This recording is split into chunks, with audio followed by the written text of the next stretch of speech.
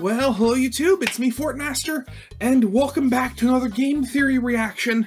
You're programmed to click on this video.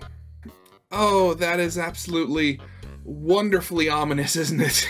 yeah, so this is a theory about what I would imagine is going to be about KinitoPET, which, if you haven't seen, uh, is a game that's kind of been making its way around.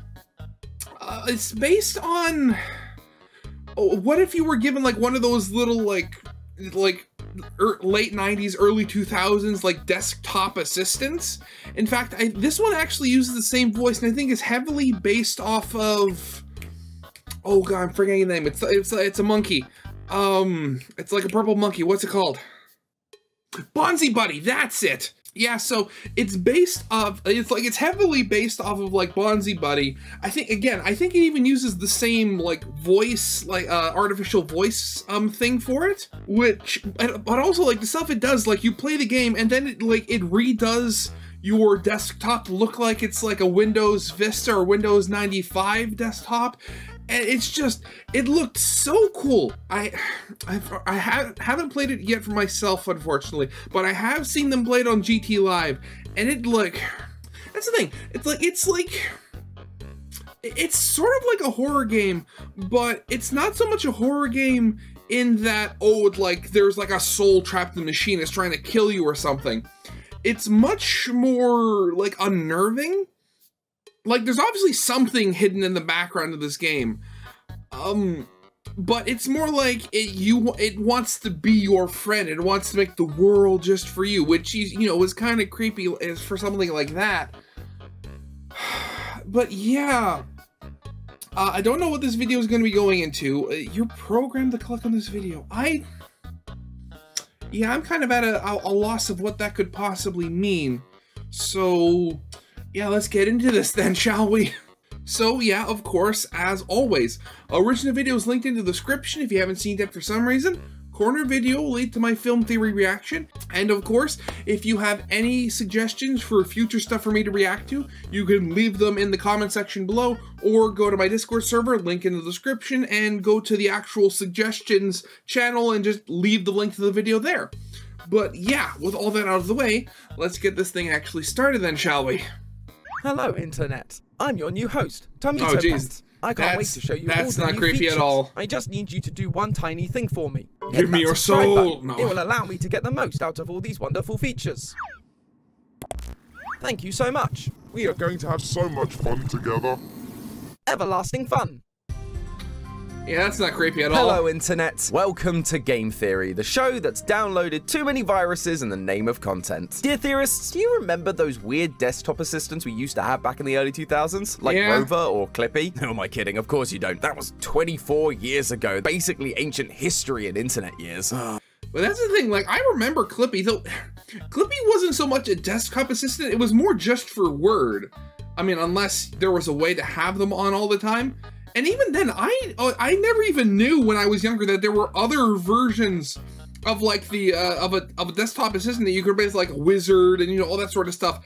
I just I just was never the type of person to play around with that sort of stuff. Oh no, I'm old, aren't I? But man, these things were weird. They were these little animated characters that would hang out on your desktop and were designed to make your newfangled computer seem a little less intimidating. They Yeah. talk to you, help you sort files, and they'd even sass you when you spelled something wrong. Yes, Clippy, I know ban ban isn't a real word. I don't like it either. Let me do my job. But the most iconic for me was the infamous Bonzi Buddy. Once installed, a small purple gorilla would appear on your screen and Gorilla, tell jokes and songs, and he would also manage your downloads. And if you couldn't hear those quotation marks, by manage, I mean it would secretly download software onto your computer and then upload data to the developer's servers. Turns out, this thing was nothing more than a glorified piece of spyware, and so it was shut down by the FTC in 2004. After that, the world was safe from purplish malware icons. That was until 2023, when we were all cursed with a brand new desktop assistant, KinitoPET. Pet. Okay, so Yeah. KinitoPET isn't actually a desktop assistant. It's a game. hence, you know, game theory. But it is riffing off those old school 2000s desktop assistants. When you first boot up KinitoPET, you're taken to your own desktop, or at least a version of your desktop if it was from the early 2000s. There's Yeah. all the classics email, Minesweeper, even 3D pinball. The 3D pinball though. Oh my gosh, this brings Oh back god, I remember 3D Yes! pinball so Oh much. man, immediately hitting me in the nostalgia. Oh, I've missed those sounds. Why don't we have this anymore on our computer? But when you open the internet, things start to take a turn. Oh, the stream has been corrupted. Oh no, Kinito Pet. Oh. oh god, so many pop-ups. You're flooded with ads, your computer crashes, and when it reloads, you're already on your way to downloading your new axolotl assistant, KinitoPET. When it hatches, yes, this thing hatches from an egg, Kinito acts like most classic desktop assistants, asking some basic questions, helping you with your tasks, and giving you some fun games to play. He even closes weird emails full of gibberish that would distract you from having fun. How helpful. You spend some time decorating a room, washing some floors, painting a wall, and dragging a dead body across the screen. That's weird. And I just cleaned Yeah, that very much too. so. Kinito- Again, unless I like misinterpreted something from the GT live streams, it didn't seem like the program itself was like uh, possessed. Well, I mean, actually, I guess there were a few, but it was sort of weird where it's sort of like it flip flopped from seeming, oh, the program is possessed to the program is becoming sentient. I- I- it's like, it's like I, I couldn't quite pick uh, pick which one was actually real. So just sweeps us under the rug and continues to ask us more and more personal questions. But the game begins to glitch out, and Kinito will suddenly select two Steam friends, asking which one you'd rather kill. At this point, I'm kind of starting to miss Bonzi Buddy. Oh, hey, Yeah. look, it's me. Oh, I have to choose between Lee and Tom. Film theory versus game Oh, theory. fi- film theory, game theory. Who am I killing off? Matt, what are you doing? Lee and I go way back. Don't you even think about it. Sorry, Tom. Matt, stop. Oh, jeez, that's awesome. That's such a good effect. Sorry, Tom. oh man, that's brutal. Oh, I'm okay. I'm alive. Are you? Good Are thing you okay? Buckshot Roulette taught me I could survive fatal gunshots with just a defibrillator. But man, not cool. Oh, We're gonna be having words when I'm done with this episode. But if you think it couldn't get any worse, after you've unceremoniously killed one of your friends, Kinito decides to dox you. It seems like you made a mistake Yeah, I when don't filling so, out dude. your address. But don't worry, and I will just correct it for you. What are you talking? Whoa, oh, Bro, no. what are you doing? Oh, this is not good! And then you are welcomed into a brand new world that Kinito has made for you, using all the questions you've answered. Are you kidding me? That is Garden not of okay. Ban That was a joke. Get I remember out of that. here. Garden of Banban is in Kinito Pet. I'm done. This is over. This series is over.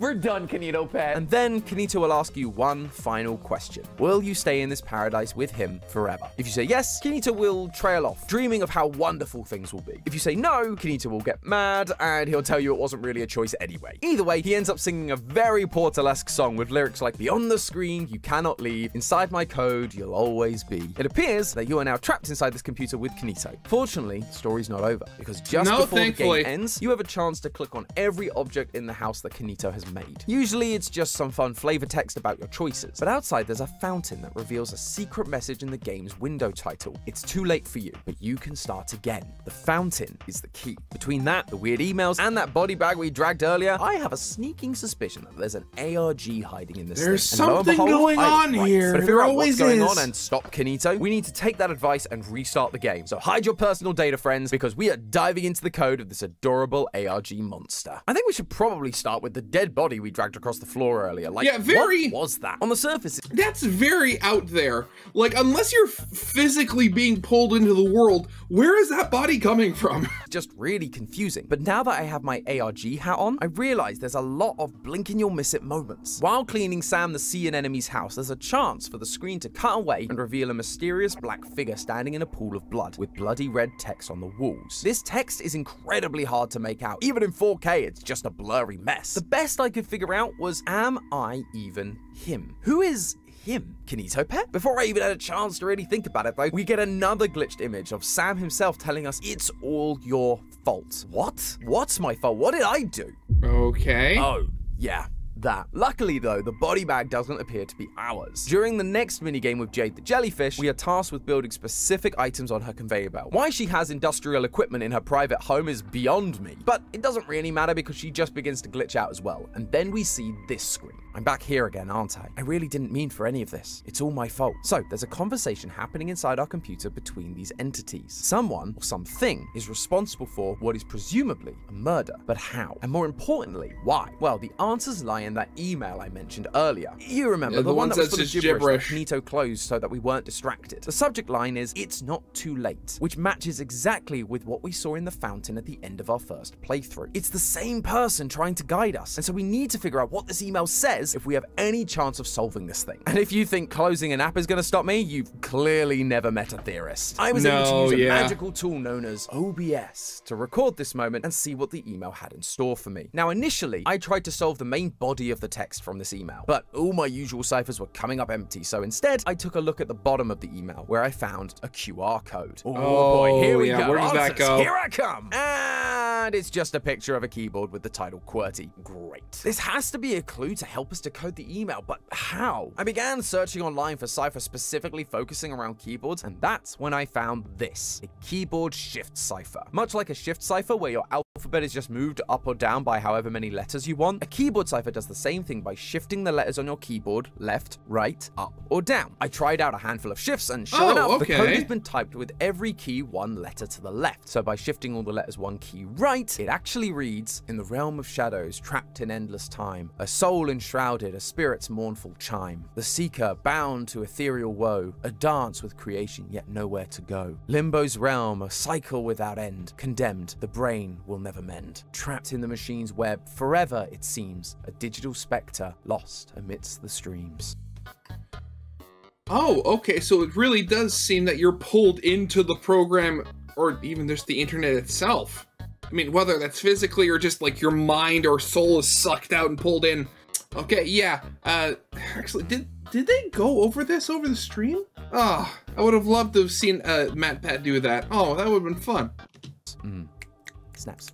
Snaps, everybody. But really, this does kind of just feel like more gibberish, so let's break down some of what's being said here. A spectre is a disembodied but visible spirit, basically a ghost. So, a digital Ghost, spectre yes. is a digital ghost, a spirit inside the computer program, someone that is dead now lives on inside this machine. Is that what they meant by Am I Even Him? The ghost coming to terms with their consciousness living on inside this computer? It also seems clear that this is the same person that has been saying it's all their fault. A spirit's mournful chime and condemned the brain will never mend. They all feel like Yeah. the words of someone who did something regretful, and likely that is something to do with the body bag we found earlier. But then there's this line a dance with creation. I wasn't entirely sure what that meant until I rebooted the game after all those glitches. By doing so, we receive an email with an article about the creation of KinitoPET. During my first playthrough, I thought this was just flavor text, but now that I have that clue about creation, I wanted to take a look at it more closely. Turns out, KinitoPET wasn't always a computer program. First, it was a toy, then it was a Tamagotchi clone called the Kinito Companion, and then Hmm. it became your home computer assistant. All thanks to one man, Sonny Chamberlain, a guy who was obsessed Oh, did with they have bringing their- his their soul sucked out and life, brought- put because into the that's never internet? gone badly for anyone. But here's the Yeah, thing, of course. unlike most indie horror games that use the souls of others to make this happen, Sonny seems keen on this new technology called the React Respond Algorithm, the RRA. The RRA allows Kinito to have the illusion of genuine intelligence as it reacts to inputs in unique ways. Kind of like ChatGPT, but in the 90s, which explains a lot about how Kinito has been acting. So we've now got souls trapped inside a computer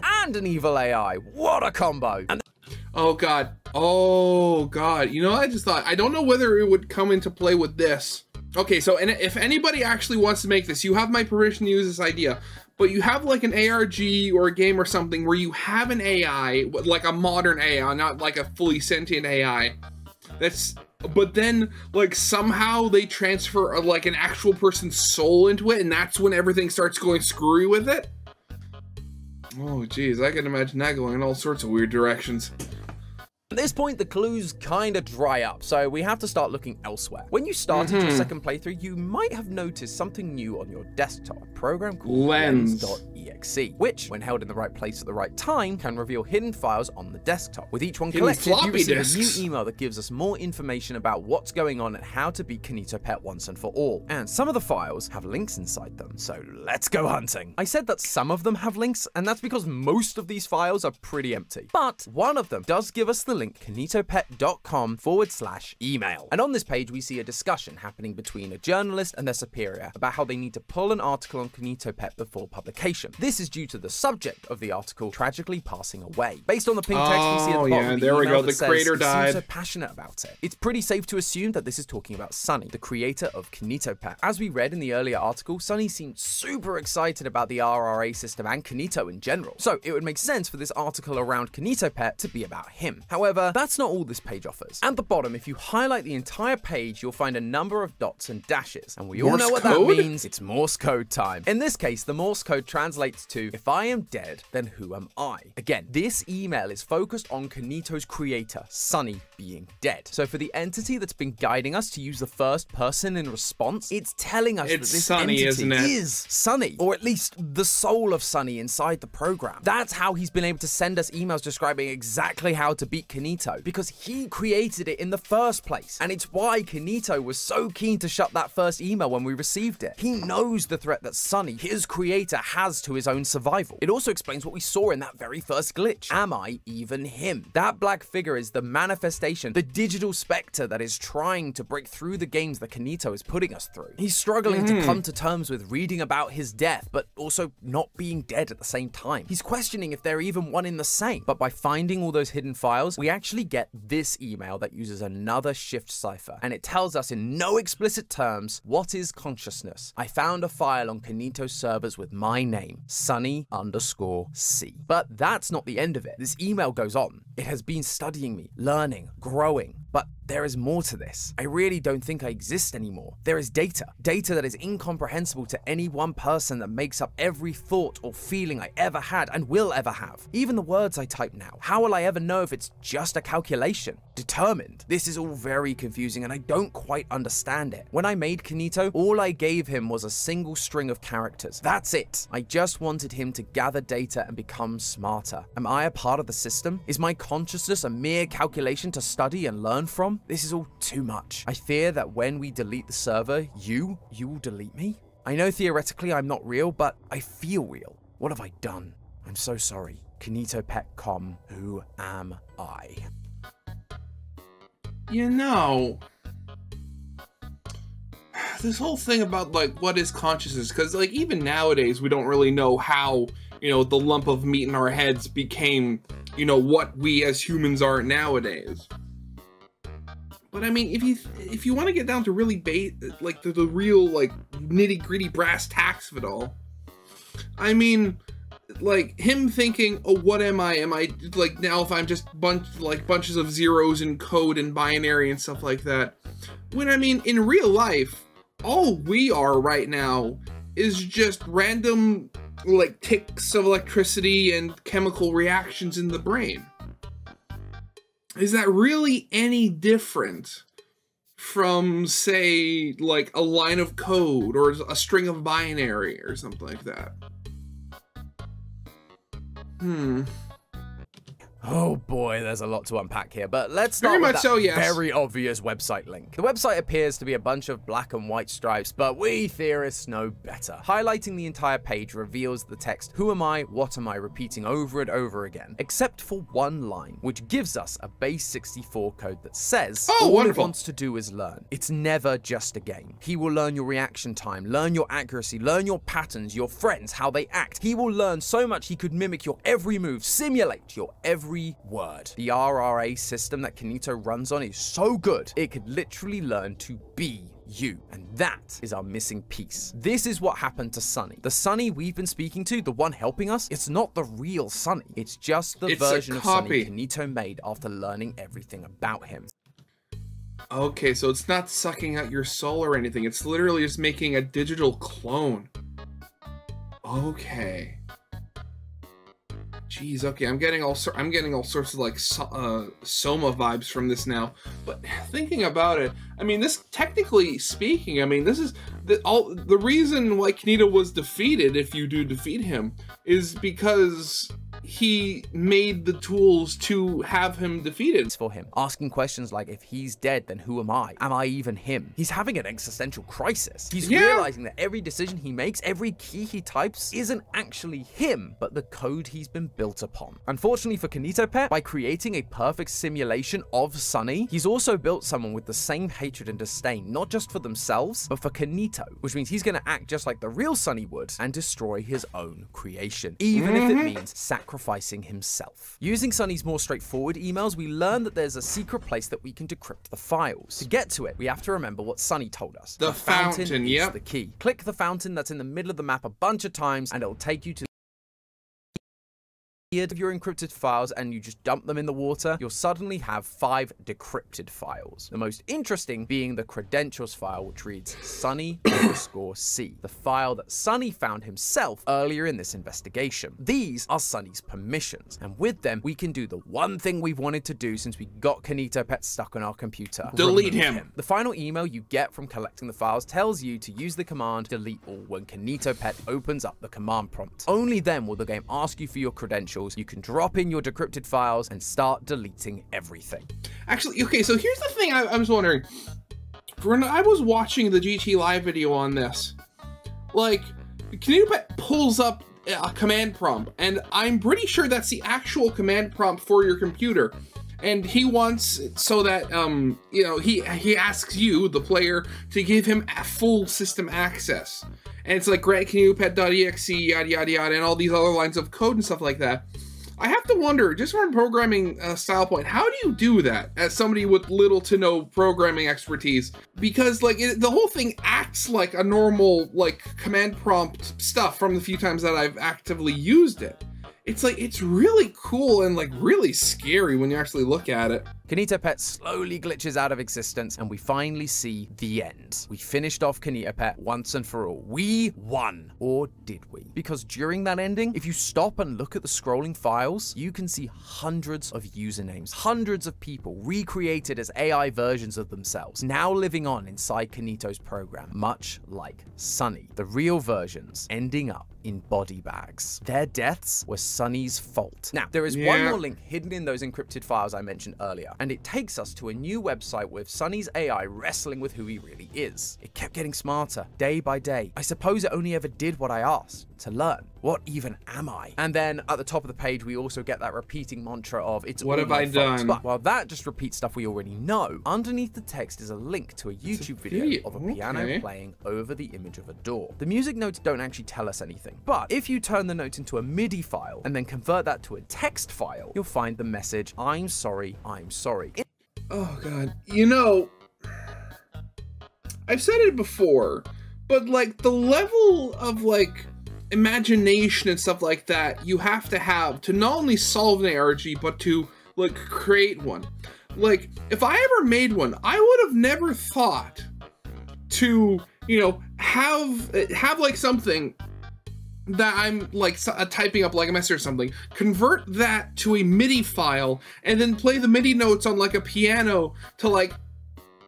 I would have never thought of something like that. That is just absolutely nuts. that video and we find two new codes. The first one is in the There's description even the video, more? which is full of different clock emojis. By reading the hours of each clock as a number and then adding the numbers that are between semicolons, you get this code. Based on what we found earlier, I think this is likely supposed to be fountain is the key, but I guess there was a clock emoji that got missed. Fuck. Hey.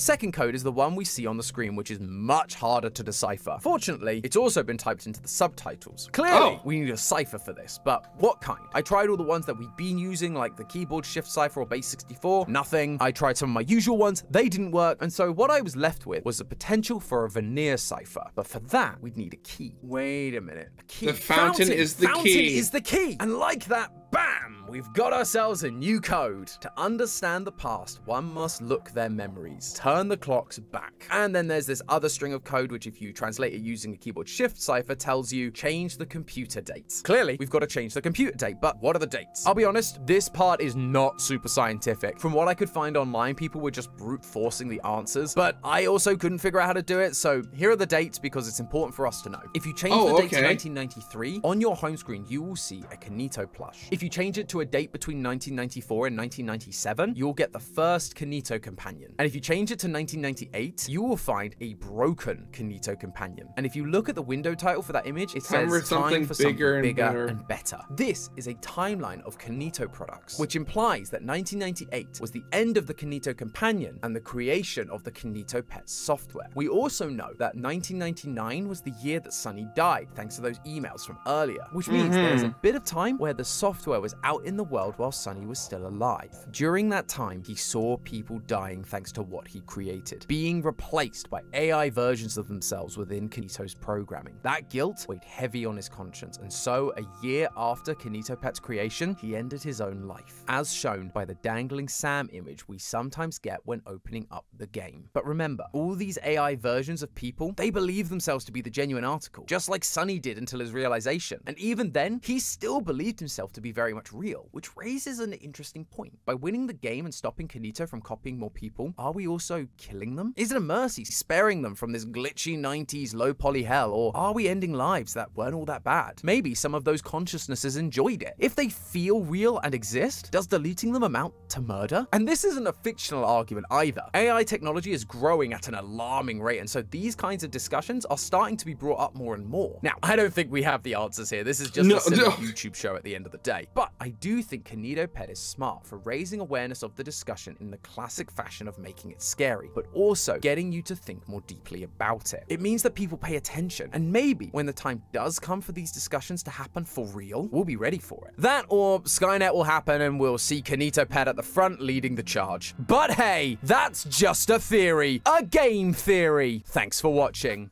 You know. Oh, jeez. Again, I have to I have to give a props to the creator of Kinito Pet. Uh, who was that? Or certainly a lot of hard work put into this. Uh, and the whole thing with AI. Yep. Just keep hearing about that more and more every day. Uh, so yeah. I think that'll be it for now. So, of course, as always, original video is linked in the description if you haven't seen it for some reason. Corner video will lead to my film theory reaction. And with all that out of the way, I hope you guys liked. If you did, leave a like, subscribe if not, and I'll see you guys next time. Bye-bye.